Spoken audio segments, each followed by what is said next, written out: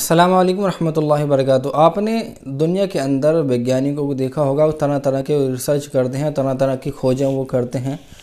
अब एक बहुत बड़ी खोज उन्होंने ये की है, जिससे देखकर ये पता लग रहा है कि अब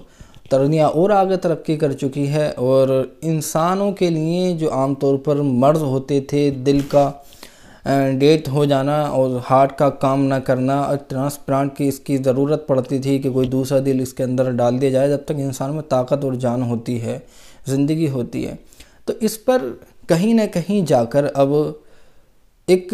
कॉलेज ने, जो मेडिकल कॉलेज है अमेरिका ने, उसकी इस ट्रांसप्लांट की इजाज़त भी दी। वहाँ पर इसको किया गया, जिसके डायरेक्टर मोहम्मद मोहिउद्दीन हैं, जो वैज्ञानिक हैं, बहुत बड़े इस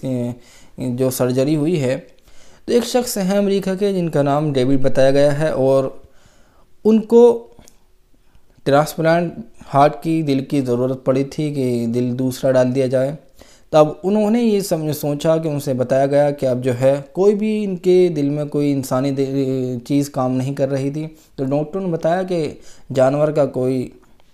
हृदय इसके अंदर काम कर सकता है, दिल काम कर सकता है। तो अब ये भी बताया गया कि इसके अंदर उस वक्त वैज्ञानिकों ने उनसे बताया कि बचने ना बचने की उम्मीद कुछ नहीं है, हम देख लेते हैं। उन्होंने भी इसकी इजाज़त दे दी कि मैं या तो जी गया या मर गया और आप लोग जो है मुझसे अगर मैं मर गया तो कुछ सीखने की, आपको नए सीखने को मुझसे मिल जाएगा। तो इसका ट्रांसप्लांट किया गया और ट्रांसप्लांट करने के बाद जो है इस दिल के अंदर जो सुअर का दिल था, उसके अंदर कुछ कमी से आती एडिटिंग करके उन उसके अंदर मिस्टर डेविड के अंदर डाला गया। अब ये बताया गया कि उनकी तबीयत में सुधार आ रहा है तो इससे ये ज़ाहिर हो रहा है कि कहीं ना कहीं बहुत कुछ सफलता मिली है और जो आम तौर पर लोग इस बीमारी से जूझ कर मर जाते हैं, बहुत सारे हमारे मुल्क में भी दुनिया में जगह जगह पर मर जाते हैं तो कहीं ना कहीं इसकी बीमारी दूर हो सकती है और इसका इलाज कहीं ना कहीं आ गया है। अब रही ये बात कि क्या ये शख्स जीवित रह सकता है, नहीं रह सकता, ये तो अब वक्त बताएगा, क्योंकि पहले भी इस से, इस सर्जरी से पहले भी एक सर्जरी की गई है, ऐसे ही उसके अंदर किसी शख्स के अंदर जो है,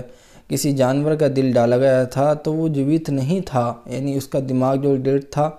लेकिन जब दिमाग डेड था तो उसने कोई काम नहीं किया। अब यहाँ जो है बताया गया कि डेविड बता रहे हैं कि इस तबीयत में सुधार आ रहा तो कहीं ना कहीं कुछ कामयाबी मिल रही है। दोस्तों, आपकी क्या राय है इस बारे में ज़रूर कमेंट करके बताना और आखिर मेरे चैनल को सब्सक्राइब भी ज़रूर करना।